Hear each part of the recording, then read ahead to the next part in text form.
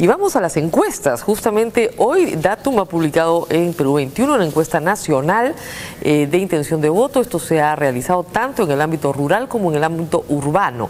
Y vamos con el primer, primer cuadro, si me ayudan, por favor porque este es el cuadro de intención de voto eh, por candidatos.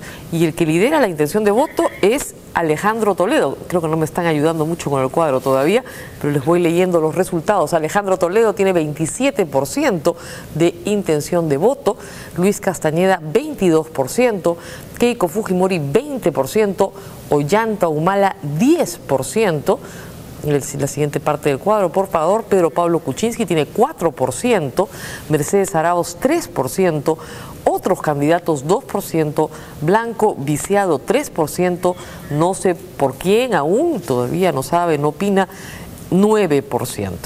Eh, bueno, y después hay también otro cuadro que hemos preparado para ustedes sobre la decisión de voto, es decir, qué tan fuerte es la decisión de voto eh, de cada uno de los candidatos, ahí lo tienen. En el caso de Alejandro Toledo, eh, totalmente decidido, muy difícil de cambiar, 60%. Eh, luego casi decidido pero podría cambiar 27%.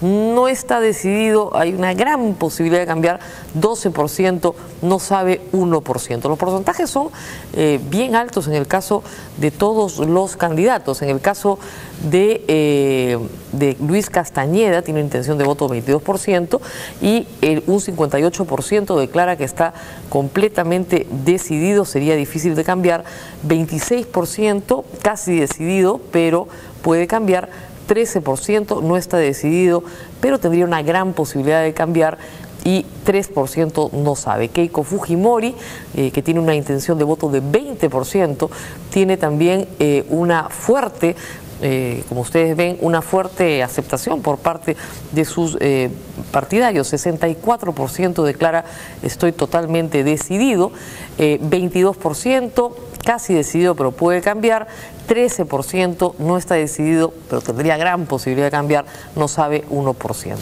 En el caso de Ollanta Humala, de igual manera, tiene 10% de intención de voto, tiene eh, un 64%, igual que Keiko Fujimori, que está completamente decidido.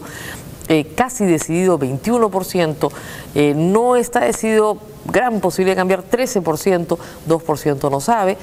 Y eh, en el caso de Pedro Pablo Kuczynski, 45% señala que está totalmente decidido y el 37% casi decidido, pero puede cambiar.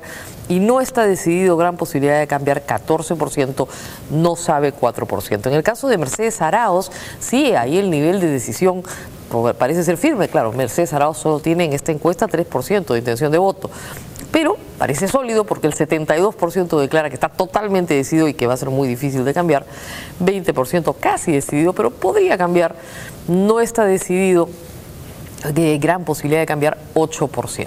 No sabe, en este caso no tiene eh, resultado.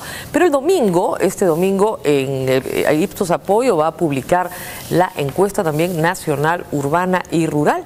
Y ustedes van a poder comentarla eh, en la noche, en Cuarto Poder, pero va a ser publicada en la mañana en el diario El Comercio. Nosotros vamos a hacer una pausa después de estos resultados y, nos y regresamos con otra candidata presidencial. Ustedes tuvieron la oportunidad de conocerla a través de una nota de Paola Bazán esta semana y estamos en una ronda de entrevistas a candidatos presidenciales. Ella es Juliana Reimer. Volvemos con ella.